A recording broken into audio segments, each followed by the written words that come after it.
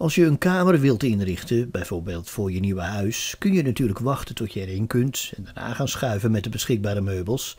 Maar slimmer is het om van tevoren te bekijken of het allemaal past en wellicht er nog iets moet worden aangeschaft of juist op marktplaats moet worden geplaatst.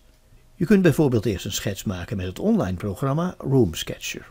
In twee how-to's zie je hoe je Room Sketcher kunt gebruiken. Ik ben gesurfd naar roomsketcher.com. Er bestaat een gratis versie, maar je kunt ook voor een betaalde kiezen. De mogelijkheden zie je bij pricing. In deze how-to's ga ik van de gratis versie uit. Hier maak ik een account. Dat is nodig om met Room Sketcher te kunnen werken. Hier geef je aan waarvoor je Room Sketcher wilt gebruiken. Ik kies voor Personal Use. Je krijgt een bevestigingscode per e-mail toegestuurd. Die code voer je hierin. Daarna kom je op het dashboard terecht. Je ziet hier dat je vijf projecten kunt maken in de gratis versie. Ik maak een nieuw project. Je kunt nu eventueel bestaande floorplans gebruiken en deze aanpassen, maar dan moet je er wel voor betalen. Ik doe het niet, ik kies voor Draw Yourself. Je geeft het project een naam. Je kunt eventueel het aantal verdiepingen kiezen. En dan maak je het project. Je begint door hier te kiezen voor Edit. Via Walls kun je een muur tekenen waarmee je de grootte van de ruimte afbakent.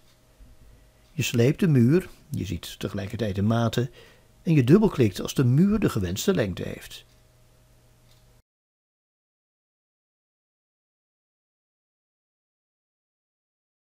Als je alle muren hebt getekend, druk je op de Escape-toets. Als je de lengte precies wilt weten, klik je met de rechtermuisknop op de betreffende muur en kies je Properties. Hier kun je de breedte van de binnenmuur aanpassen en van de buitenmuur. Bij Windows etc. kun je naast ramen ook bijvoorbeeld een trap en deuren toevoegen. De keuze is zeer uitgebreid.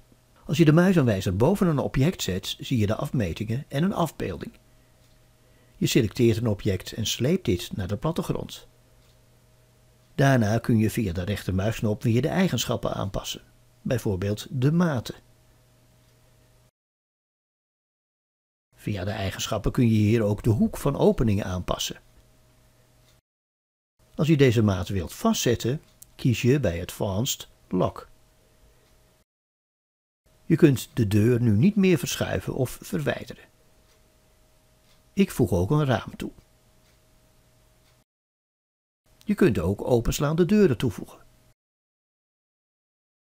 En via deze knoppen aangeven of ze naar binnen of naar buiten moeten openslaan. Tot slot van deze eerste houttool voeg ik een trap toe.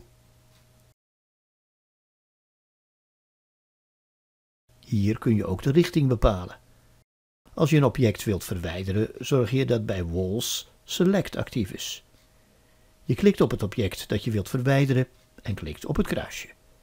Ik sla het project op. De overige mogelijkheden van Room Sketcher bekijken we in een tweede houttool.